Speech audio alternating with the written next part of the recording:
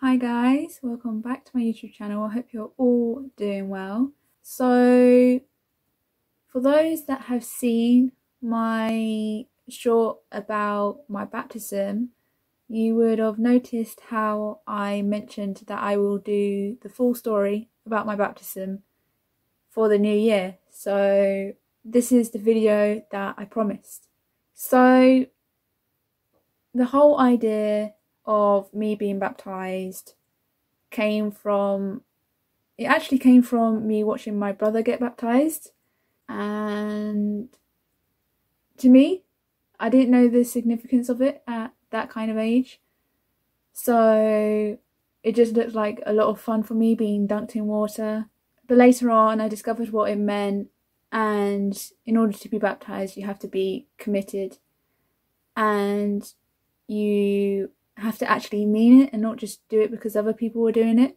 So I talked to my dad about it, who was alive at the time, and I talked to the kids' pastor who was close to me and my family, and we had a discussion about it. And in the end, they agreed that I could get baptized in about a year or two years' time. So it came to my baptism and unfortunately my dad wasn't there because he passed away by the time I got baptized.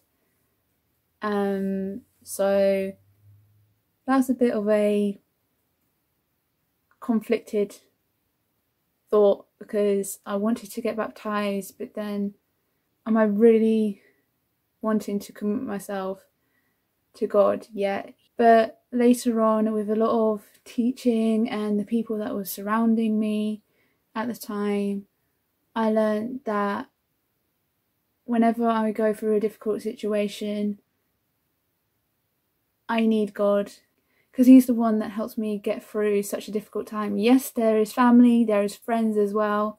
I am not leaving them out, but the whole idea of God existing is for us to have hope and faith in Him. And without acknowledging God, how can we have hope?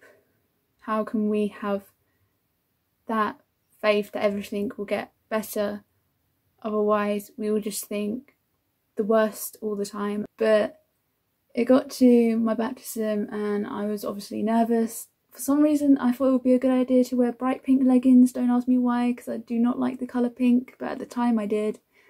Uh, and I probably just thought I don't like the colour pink, so I'm just going to get these pink leggings wet, and if they get ruined, they get ruined. I don't care.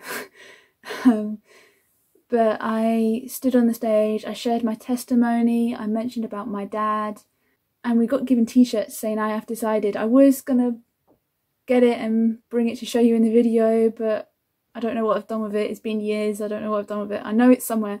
It's probably hidden in my drawers somewhere. But there is something that I can tell you, and that's the feeling that I got on that day. And it's the kind of feeling that in your heart you know how you feel, but you don't know how to describe it. So, as soon as I got baptized, the atmosphere just completely changed to when I did my testimony. Everyone was clapping, cheering, celebrating the fact I got baptized, along with the others that I got baptized with. And when I went to meet with my family again after I got baptized, I just felt a whole load of love. I mean, I already do from my family, but it was just a special moment because I had just done something that changed my life and the hug that I gave my mum as soon as I got out of the water was the best feeling ever. The same with when I hugged my brother and sister as well. It was just a special moment. And that's basically the full story. I could go on and on about it, but I feel like I will end up repeating myself. So I'm not going to go there. Um, so yeah, that was a special day. Despite my dad not being there, I am glad I did it. And I am sure that when I got baptized, my dad was in heaven cheering me on, just like he did when he was here. And just having that thought in my own mind just relaxes me, gives me peace, and that's all that matters. Especially with what me and my family have been through. And since I was young at the time, it was important for me to have that peace because it was the kind of moment where I felt like I was growing up a bit too quickly. So that was nice. So when I said it was a good feeling, it was a good feeling. Just take my word for it. I'm sure you would know what I mean if any of you had got baptized or are thinking of getting baptized. I will leave the video there and I will see you guys on my next video.